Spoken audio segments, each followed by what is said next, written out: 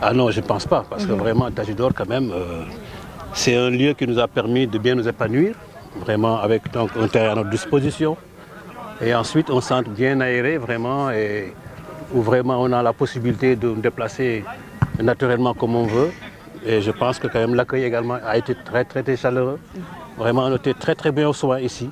Et c'est vrai que bon, on va, on va vivre encore pendant quelques jours à Yaoundé, mais ce ne sera pas vraiment le même cadre, ça c'est clair. En 2012, vous êtes... Oui, mais écoutez, le contexte est, différent. Je pense que le Zalan, quand même, n'est pas arrivé par hasard. Je pense que ça, on le comprend très très bien. Euh, S'il est aujourd'hui en cas de finale, c'est parce qu'effectivement, il a su montrer quand même qu'il avait effectivement des moyens qui lui permettaient d'y arriver. Et comme on dit, euh, on respecte toutes les équipes, on n'a pas de personnes. Mais ce qui s'est passé en 2012, bah écoutez, je pense que c'est derrière nous. Aujourd'hui, on est en, 2021, en 2022. Je pense que donc c'est un autre match. C'est une autre équipe également aussi. Je pense que pas les mêmes. Bien qu'il y, y, y certains qui ont joué en 2015. Mais n'oubliez pas également aussi que le Zalang était demi-finaliste en 2015 également aussi. Je pense que c'est important de le comprendre. Donc c'est une équipe qui va prendre bien